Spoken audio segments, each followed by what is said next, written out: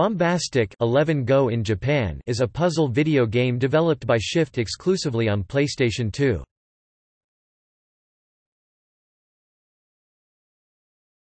Topic: Gameplay.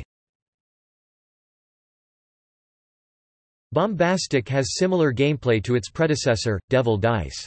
The players controls a family of small devils that must traverse a level seen in isometric perspective that contains several standard six-sided dice. Players can walk on the ground, moving dice by pushing them, or walk on top of the dice, which rolls them onto the next face as the character walks. There are various gameplay modes, which determine the level objective and how dice are cleared.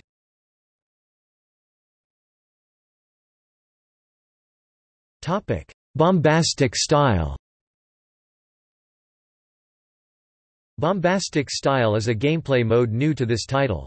When a group of adjacent dice has the same number of pips on their upper face, and the group consists of at least as many dice as the number of pips on that face, the dice start glowing, and after a while, explode and shoot flames in four directions. The larger the pip value, the longer the delay and the longer the flames.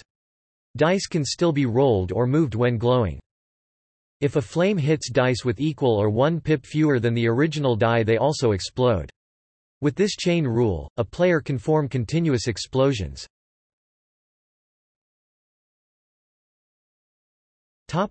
Trial mode Trial mode has three submodes Standard, the player must keep clearing space in a 7 by 7 grid to survive, whilst the player's character gradually speeds up. Limited, the player has three minutes in which to score as many points as possible. Attack – 10 stages with varying objectives, such as obtaining the most points in a fixed time, obtaining combos in a fixed time or clearing all dice in the shortest time.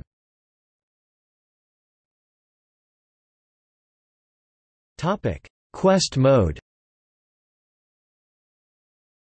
Quest mode is an adventure over several levels, when Aki brothers journey through 15 levels in five realms on the way to their grandfather, with each realm having a final boss to defeat. Each level usually has various puzzles, all of which must be completed to progress. Touching an enemy character cases the player to lose a life. When all lives are lost they are replenished but progress on the current level is forfeited. There are additional rewards for completing levels without losing any lives and for killing every enemy in the level without losing any lives.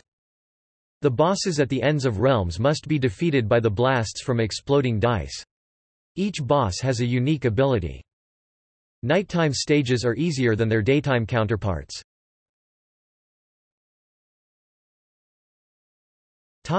War mode In war mode, five players or computer-controlled players compete in a large grid to destroy dice and reduce the health of the other players.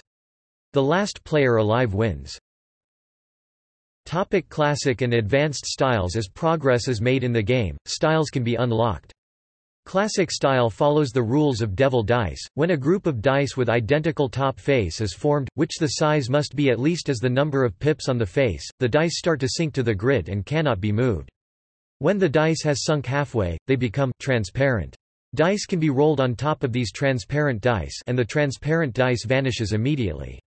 Matching a die to a group of sinking dice will cause a chain, the new die starts sinking along with the original group. Advanced style follows the rules of 11 jumbo. It adds the ability to jump with a die, allowing it to move atop the other dice and create combos more easily. It also allows the player to pick up an adjacent die, they can place it down into an adjacent space with the top face unchanged, or throw the die far and cause it to land on a random side.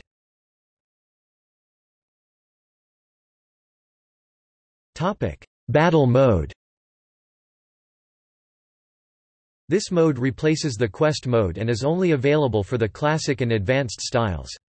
It is a head-to-head -head mode where two players compete to claim different sides of dice by creating dice connections of those sides quickly. Depending on what was decided beforehand, the winner is decided when a player claims from three to all six sides first. Before a player reaches this goal, an opponent can steal a player's claim by making a connection of dice with the claimed number.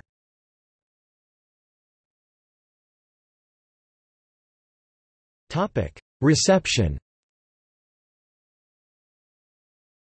On release, Famitsu magazine scored the game a 32 out of 40.